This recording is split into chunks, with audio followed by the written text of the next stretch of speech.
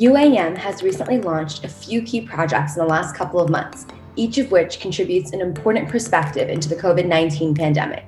One such project is the COVID 19 University Mapping Tool, which demonstrates the crucial role of public funding in COVID 19 research and development.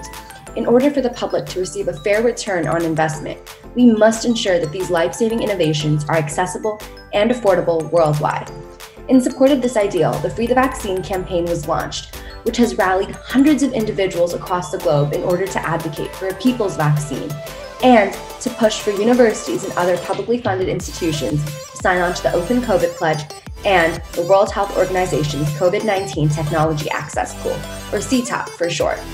The purpose of these two pledges is to make intellectual property available free of charge for use in ending the COVID 19 pandemic and minimizing the impact of the disease. Earlier this year, we were fortunate enough to receive Senator Bernie Sanders' support for the People's Vaccine.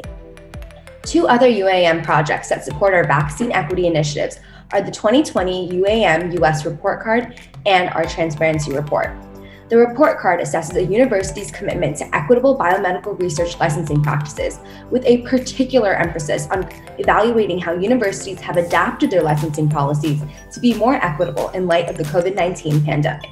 Lastly, our transparency report assesses how universities promote transparency in their clinical trial results and whether universities are being transparent in how much public funding goes towards their clinical trials research, including that of their COVID 19 related diagnostics, therapeutic, and vaccine research.